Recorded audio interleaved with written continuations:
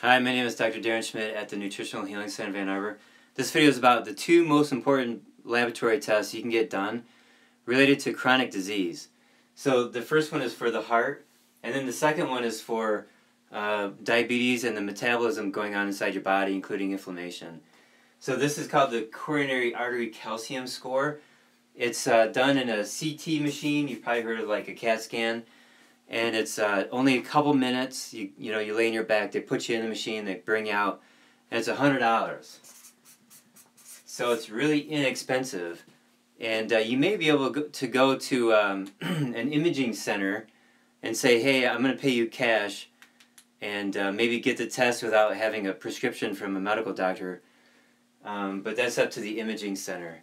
Okay, now the score on this should be zero and um, and as your score gets higher over time, you know, 100 or 600, the uh, risk. Uh, I'm sorry, it's not a risk. This is not a risk assessment like being overweight or LDL or exercise level. This is the test for heart disease. This is the scan that sees how um, how much calcium is in your arteries. So um, as your score goes up, then your chances of a heart attack go up and it's all measured out exactly.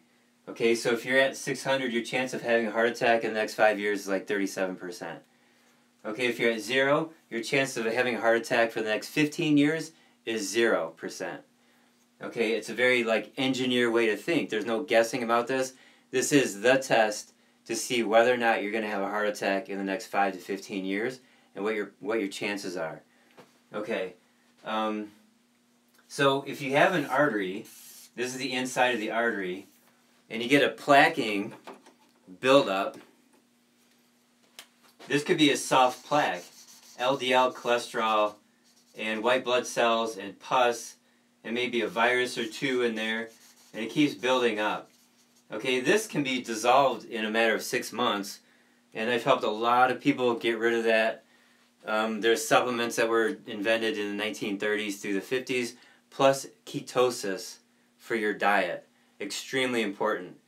Okay, now what calcium is, it's a buildup of calcium, this calcium score, it's a buildup of calcium in the arterial wall like that. And let me let me say it this way.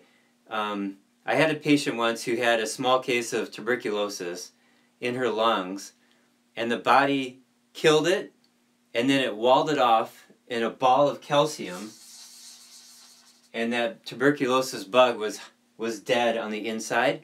So from now on, for the rest of her life, when she gets an X-ray, that calcium ball will be found in her lungs. Okay, so so putting when the body puts calcium into tissue, it's the last step in healing. So when you have a problem, the body has has two opportunities. The first opportunity is to return that tissue back to normal. And if that doesn't work, it'll turn that tissue into calcium. So let me give you another example. An alcoholic with a bad liver, let's say they drink a fifth of whiskey a day for 10 years, um, the, the body does not have any opportunity to return the liver cells back into liver cells. You know, the diseased, liver cells can't get turned back into regular normal liver cells because of the continual assault on the liver from the alcohol. So what it does is it makes the liver calcified, and you can feel it. And uh, one time in the clinic when I was in school, I uh, did a rotation at the Salvation Army in downtown Chicago, and there was a guy that did a fifth of whiskey a day for 10 years, and his liver was like, it was as hard as that and I could feel it with my fingers. Okay, so the point is, calcium was the last step that his body had to take to try to secure that pathological tissue. One last analogy you break your bone, what happens? Your body puts calcium there. So your body has been assaulted by too many carbohydrates, too much sugar, too much pop for a long period of time, and, and this is and your arteries are diseased, and so you're going to have um, collections of calcium throughout your heart, throughout your chest. And this is the most important place because the heart is continuously beating. It never takes a break. So this is why the calcium will end up here and not somewhere else in your leg, for example, like uh, for the average person.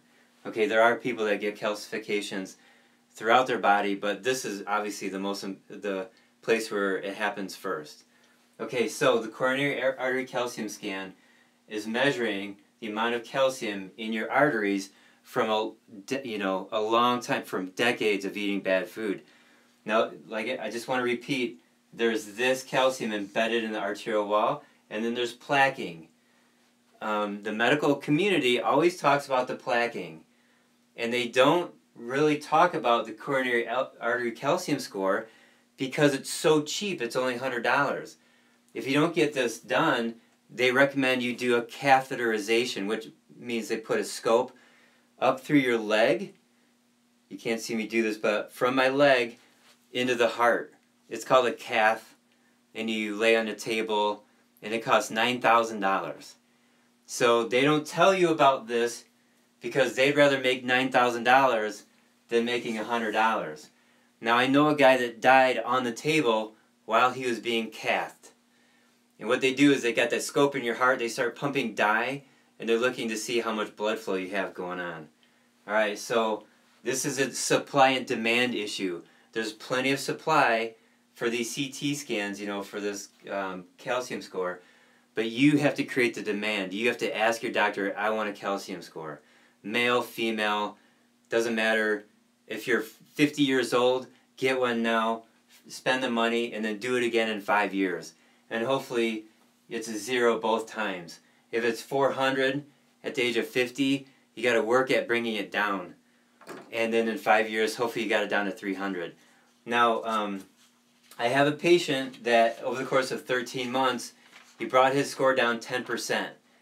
It went from 320 something to 298. Now, and that's fantastic. And it, but it took 13 months.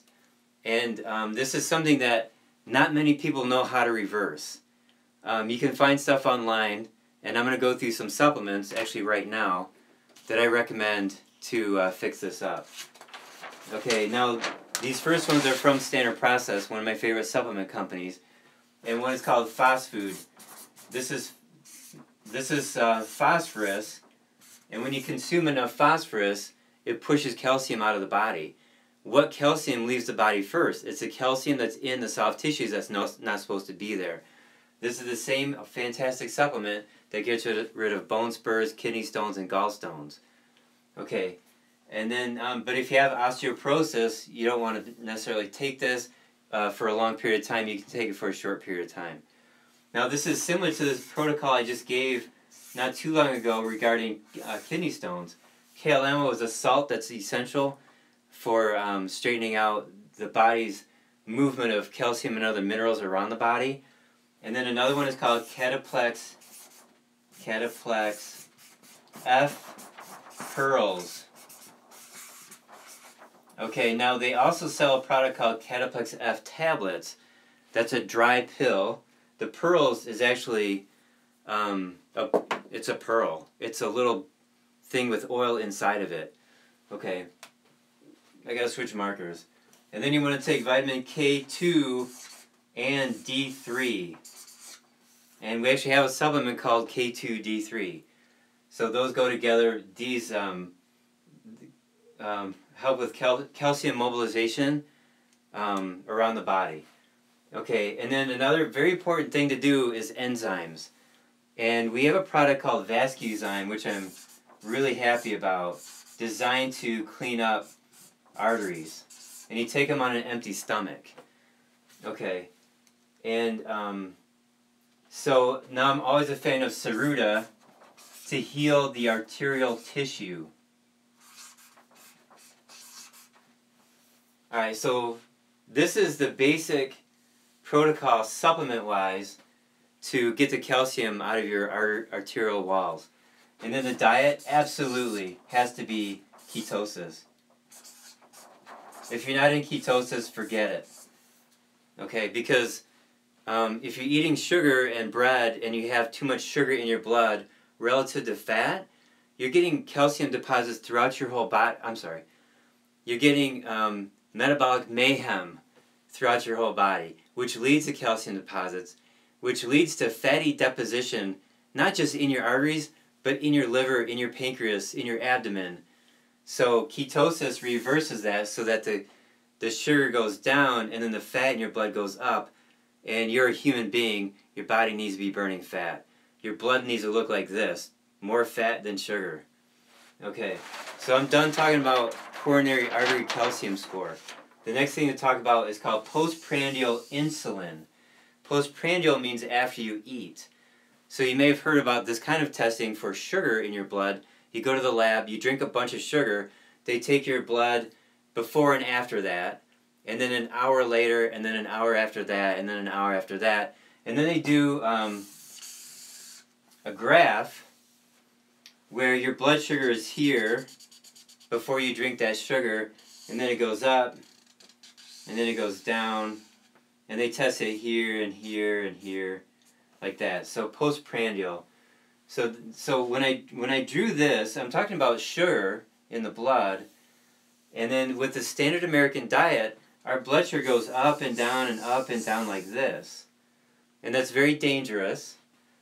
And um, let's compare that to insulin. If this continues for a long time, like decades, the insulin, which should be going like this, ends up going like this. Okay, so the insulin now is too high and it stays too high because it's waiting for you to consume the next um, cookie. And that's very, very dangerous. Alright, so the postprandial insulin test measures what happens with your insulin. It should go down like that. But if it goes up and then it goes like this, in the same time period, like two hours or four hours, you can then predict um, chronic diseases, including cancer and heart disease and, and um, chronic diseases. So you want your insulin to, to stay low. Now, the ketogenic diet is um, actually a low insulin diet. And that's the most important thing about ketosis. And any steps that you take for your health is to keep the insulin down. So when you keep the insulin down, that's the main marker for whether or not you're going to have some chronic disease, you know, in five or 30 years. Now, these are the two tests. Those the most important tests the calcium score of the arteries and the postprandial insulin test. So get those run and let me know what the numbers are.